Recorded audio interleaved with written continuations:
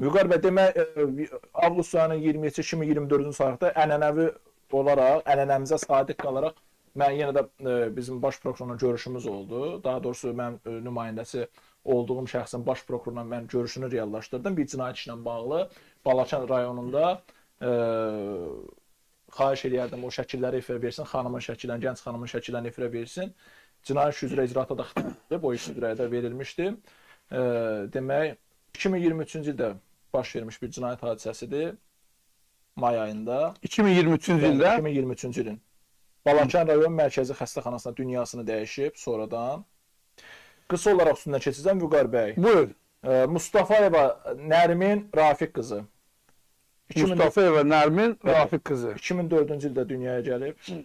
2004-cü Bəli, ildə. bəli. 2020 e, 2021-ci ildə ailə həyatı qurub 27 may 2023-cü tarixdə ağır vəziyyətdə Balakan rayon mərkəzi xəstəxanasına 17 yaşında qurub, elə mi? Bəli. Balakan rayon mərkəzi xəstəxanasına çatdırılıb.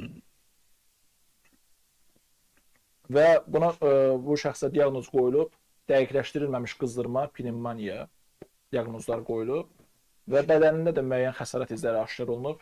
Həyat yoldaşı da etiraf edib ki, mən onu bəli döymüşəm.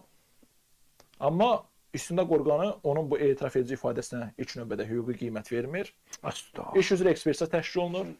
Öncəliklə onu qeyd edim ki, mə, ə, adı, adını çəkdiyim şəxs. Uşaq tamam, uşaq tamam. Bəli, bəli, bəli. Ə, Adını çəkdiyim şəxs ə, o- 31 may tarixində 30-dan 31-ə keçən gecə dünyasını dəyişir. Saat 02:26-da bioloji ölüm, ölüm qeydə alınır. Dünyasını dəyişir və ə, 18 iyun 2023-cü tarixdə Balakən rayon ə, prokurorluğunda cinayət məcəlləsinin e, 314.2-ci maddəsi, yəni səhlənkarlıq maddəsindən cinayət işi başlanılır. İş üzrə ekspertizalar təyin olunur. Birinci ekspertizanın rəyində açıq-aşkar həkimlərin tibbi xidmətinin qüsurlu olması qeyd olunur və sözü gedən şəxsin ölümünün birbaşa olaraq həkimlərin fəaliyyətsizliyi ilə əlaqəli olması göstərilir. Yəni işi bağlayırlar həkimlərə. Bəli. Bəli, göstərilir ki, Etinadsız münasibət olubdur. qüsurlu qüsurlu tibbi müayinə Balakan rayon mərkəzi xəstəxanasında ha belə e, kompüter tomoqrafiyanın e, ondan sonra rentgen cihazlarının olmaması, aparatlarının olmaması, Bu həkimlərin üstünə yığılmadı ki, bu artıq yığıldı xəstəxananın üstünə. həkimlərin üstünə, Hə. yəni həc- yəni bu- Həkim də sabah deyəcək ki, mən tomoqrafiya yoxda edə bilmədim. ondan e, Məsuliyyətdən uzaqlaşdı. Bəli, burada e, e, Səhiyyə Nazirinin 2012-ci tarixli 70 saylı əmri var. Orada səhiyyə işçilərin nümunə vəzifə təlimatı da var. Həmin vəzifə təlimatından irəli gələn vəzifələr də vaxtında icra olunmayıb. Yəni əgər o belə deyim, bu profil üzrə mütəxəssis yoxdursa, kənardan mütəxəssislər dəvət olunmalı idi. Bu əmrin birbaşa ə, irəli çəkmiş olduğu təlimat ə, tələbdir. Ə, Məsələ ondadır ki, həkimlər ə, həkimlərin məsuliyyəti qeyd olunmuş olsa da, hətta təşkillar komissiyon məhkəmə tibbi ekspertizasının rəyində də bu təşkil təkrar öz əksini tapmış olsa da, nədənsə prokurorluq orqanı bu rəylərlə razılaşmır və yenə də ekspertiza ə, keçirilməsi haqqında ə, qərar qəbul eləyir. Yenə də eləyir bunu. Yəni birbaşa olaraq artıq həkimlər bunu qeyd edir, həkimlərlə bağlı məsuliyyət ortadadır. Yəni bu şəxs, bu mərhum həkimlərin məsuliyyətsizliyinin, qüsurlu tibbi müayinəsinin qurbanı olub. Bu açıq-aşkardır. Vaxtında düzgün tibbi yardım göstərilməyib. Aha. Və bu və bu məsələ burasındadır ki, bugünkü gündə prokurorluğun icraata xitam verilməsi haqqında qərarın giriş hissəsində öz əksini tapır. Girişdə bunu açıq-aşkar işi aparan istintaqçı qeyd edir, prokuror həmin qərarı təsdiq edir, amma nəticədə iş üzrə icraata xitam verir. Niyə? Xitam verir. Məqsəd budur. Niyyət budur. Çünki üçüncü ekspertiza Yaxşı, mən bir şey soruşum. Bu prokurorluq bunu edir. Hə. Sonra bunların yoxlaması olmur. Bunlar yoxlanmırlar. Məsələn ki, görə məhkəmə hüquq şurası, nə qədər nəzarət prokurorluğun Məhkəmə hüquq şurası heç nə yoxlamır axı. Kim deyirsə yoxlayır. Məhkəmə hüquq şurası kimi yoxlayır ki? Məhkəmə hüquq şurası adı müqəvva qurumdur. Yox, qurum başı, yəni deyirəm belə bir qurum var orada. Burada prokurorluqda da bir nəzarət idarəsi olmalıdır. Prokurorluğa, prokurorluğa istinaq nəzə- e, İstintaqda nəzarət idarəsi olmalıdır ki, onlar rəhbəri də cənab Fazil Həsən Əliyevdir, e, müavini Fəqan Mahmudovdur və digər idarə e, rəisləri, müavinləri fəaliyyət göstərir. Hesab edək ki, bax icraata xitam verməsək qərar əlimizdə düzdür. Bu qərarda mən götürürəm, şikayət edirəm hara? İstintaqa nəzarət idarəsinə. Prokurorluqda istintaqa nəzarət idarəsi. Baş prokurorluğun Prokurorluqda istintaqa nəzarət idarəsi. Daxili İşlər orqanlarında qanunların icrasına nəzarət idarəsi başqadır. Başqadır. Prokurorluqda istintaq idarəsinə, ə, prokurorluqda istintaqa nəzarət idarəsi isə tamam başqadır. Bunları fərqləndirmək lazımdır. Ayrı-ayrı idarələrdir. Demək mən bunu göndərirəm. Ə, Bir ay və yaxud da ə, bir ay yarım vaxt keçir, iş materiallarının demələrinə görə tələb eləyirlər. Baş prokurorluqda öyrənirlər və mənə və yaxud da bir başqasına fərq eləməz. Cavab göndərirlər ki, sizin şikayətiniz Azərbaycan Respublikası Baş Prokurorluğunda araşdırılmışdır. Tərəfimizdən mövcud cinayət işi materialları prokurorluqdan tələb olunmuşdur Aha. və müəyyən olunmuşdur ki, e, tələb olunub, olunub öyrənilmişdir və müəyyən olunmuşdur ki, e, cinayət işi ilə bağlı qəbul edilmiş yekun icraat aktdan verilməsi haqqında qərar və yaxud da e, işin başlanılmasının rədd edilməsi haqqında qərar tamamilə qanuna uyğun olmuşdur. Qərardan narazı qaldığınız təqdirdə məhkəməyə müraciət hüququnuz Cinayət Prosessual Məcəlləsinin 282-ci maddəsinə uyğun olaraq məhkəməyə müraciət etmək hüququnuz sizə izah olunur. Məsələ bitdi. Bitdi. Gəlirəm baş prokurorun qəbuluna, baş prokuror qərarı ləğv eləyir. Bu işlə bağlı qərar ləğv olundu. Bəs onda bu nəzarət idarəsi nəyə lazımdır? Mən onu deyirəm. O idarə nəyə lazımdır ümumiyyətlə? Və hər zaman da onu vurğulayıram ha. Hər zaman da onu deyirəm. Bu prokurorluqda istintaqa nəzarət idarəsi bax nəyə lazımdır? Təsəvvür edin ki, maaş da verilir, pulsuz bəli elədir. Təsəvvür yaradılır, benzin ən, xəstələ. ən asan iş ordadır. Sizə məktub gələcək. Siz bir Abşeron rayon prokurorluğundan şikayət edəcəksiniz. Prokurora etiraz edəcəksiniz.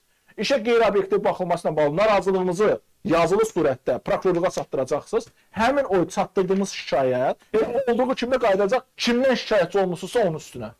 Bax prokurorluqda istintaqa nəzarət idarəsinin fəaliyyəti bundan ibarət. Bax budur. Yəni ötürücü rol oynayır da. Burada gəl elə belə olur ki? Prezident aparatı şöbəsi kimi. Prokurorluqda istintaqa nəzarət idarəsi deyir ki, qərar, qərar bu iş üzrə dəxli yoxdur.